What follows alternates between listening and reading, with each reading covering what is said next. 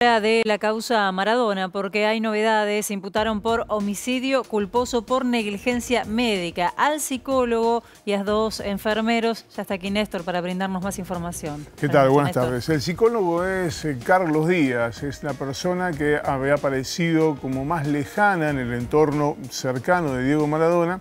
Sin embargo, a partir de una serie de pruebas que se fueron encontrando, sobre todo en los peritajes de los teléfonos, parece que esa relación, que esa influencia, que esa incidencia que tenía el tratamiento psicológico sobre Maradona era muy importante, tenía un ascendiente grande sobre él y a partir de eso es que se está investigando, se empieza a investigar una presunta mala praxis en cuanto al tratamiento psicológico. Y los otros dos son Diana Madrid, la enfermera que dijo cuando Maradona probablemente ya hubiera estado muerto que ella le había tomado los signos vitales, cosa que no era cierta. Bueno, a partir de esa, eh, esa falsa declaración es que termina imputado. Y también Ricardo Almirón, otro de los enfermeros, que es el que hizo el relevo, el último relevo a las seis y media de la mañana del día en que apareció muerto Diego Armando Maradona. ¿Qué es lo que se investiga?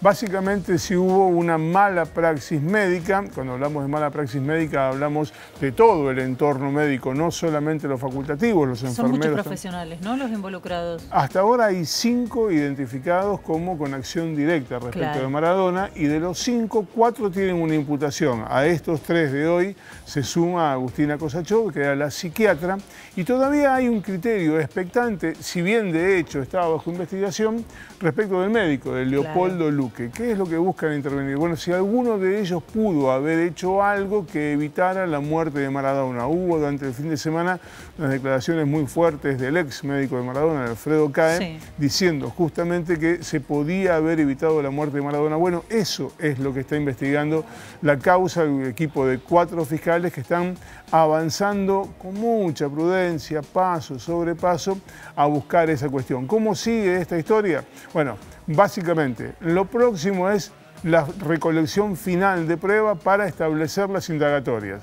Resulta raro que estén imputados los profesionales médicos y que todavía no han sido llamados a formular un descargo. Bueno, básicamente esto es lo que parece insinuarse en el horizonte cercano como el próximo paso en la investigación para decidir, para determinar por qué está muerto Diego Maradona. Gracias,